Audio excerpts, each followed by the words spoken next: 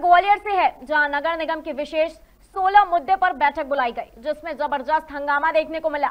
बता दें कि इस बैठक में पीआईयू के द्वारा नगर निगम में कराए जा रहे कामों को लेकर सभापति ने एक घंटे का समय सत्ता पक्ष और विपक्ष को दिया था, जिसमें विपक्ष की ओर से सभी बीजेपी के पार्षदों ने अपनी बात रखी। लेकिन बाद में नेता प्रतिपक्ष खड़े हो गए तो वहीं निगम सभापति ने आपत्ति दर्ज कराते हुए समय सीमा में नेता प्रतिपक्ष से अपनी बात रखने को कही।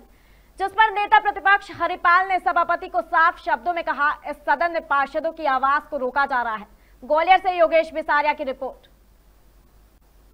विशेष सम्मेलन में जो चार शेष बिंदु बचे थे, उन चार बिंदुओं पर बारी बारी से सदन में चर्चा कराई गई।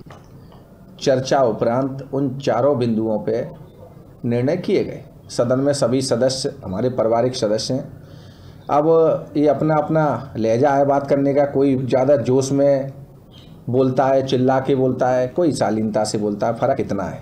नहीं, वो सदन में अब कोई भी अपनी बात रख सकता है, लेकिन मैंने जो सदन में चर्चा कराई, वो सारे बिंदुओं पे समय फिक्स किया था और चूँकि निगम विधान में प्रावधान है, एक बिंदु पे लगभग पक्ष और विपक्ष दोनों जने सदन में सारे सदस्य चर्चा कर लें तो एक घंटा उपरांत के बाद आसंदी करने वाला व्यक्ति जो अध्यक्षता कर रहा है, वो निर्णय के लिए विनिश्चय करेगा।